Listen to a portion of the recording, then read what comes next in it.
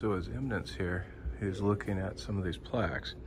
And uh, we're here at the Rock Falls Library.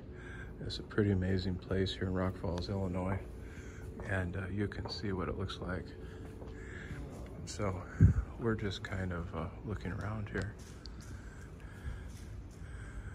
And uh, you can see they got computers here.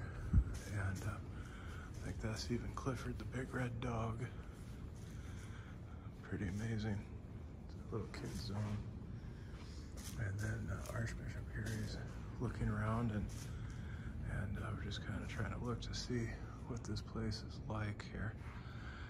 And uh, I, I, haven't been here a whole lot, but uh, it's pretty amazing. So you can see these are some nice chairs. His Eminence there, looking throughout the books here.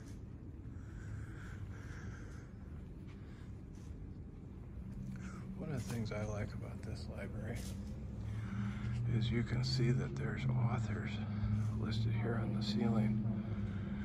And uh, you can see all these, all these authors. It kind of celebrates uh, learning. And then they got the kind of skylight up above that even.